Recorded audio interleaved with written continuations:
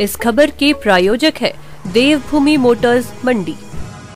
बरसात ने लोक निर्माण विभाग के कार्य की पोल खोलकर रख दी है। पानी की निकासी के लिए सही व्यवस्था न होने के चलते लोक निर्माण विभाग हरिपुर के सब डिवीज़न दफ्तर के पास ही हरिपुर से लेकर रानी महल तक सड़क बह चुकी है। पत्थरों के ढेर सड़क के बीच जमा हो चुके हैं, लेकिन आज दिन तक नालियों की व्यवस्था न हो पाना इस दुर्दशा का मुख्य कारण है। जब मौसम अनुकूल था, तब नालियों की व्यवस्था इस मार्ग पर क्यों नहीं की गई, ये सबसे बड़ा सवाल है। यहाँ रोज़ाना दुर्घटना का अंदेशा बना हुआ है। कई गिरकर चोटिल भी हो रहे हैं। लोक निर्माण विभाग ने इतना ज़रूर किया है कि बरसात के जख्मों पर मिट्टी का मरहम लगाने का काम जारी है।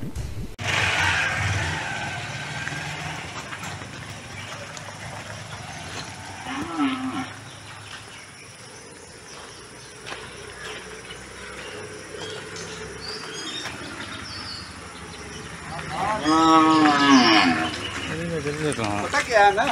मैं तो- मैं भेजा। तरीका थोड़ी है ये जड़ा ना मैं भेजा बजरे ये इसी की सीधा जे पक्की ना बना। तो पक्की से कहाँ का सब आ रहा है? जिसके बाद हमारे क्या करना बंदे भी क्या करना चलाएँगे अल्लाह की किताब लाती ऊपर ऊपर ऊपर चला चला? तो पटा पटा मेरे को गड्डी ना बुज़ुर्ग सोते करे आदि की सब बना भी ये खा गया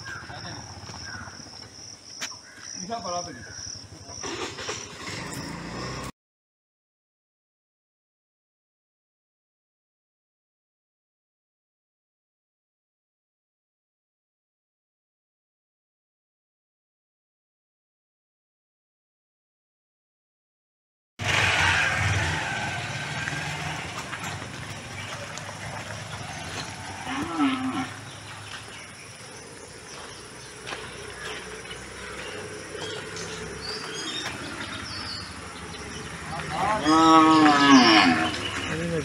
पता तरीका थोड़ी है ये जड़ा ना भेजा बजरे पक्की में बना पक्की से कहाँ का समझा रहा है, तो जिसके पहले हमारे क्या करना, बंदे क्या करना तो लाती और पानी पानी पानी थोड़ा जगह चला लोग पता पता पानी इसकी तो मैं देखा, मेरे को गड्डी ना बुज़ुर्ग सोते हो करे की सब बना भी खा गया इसा बड़ा भी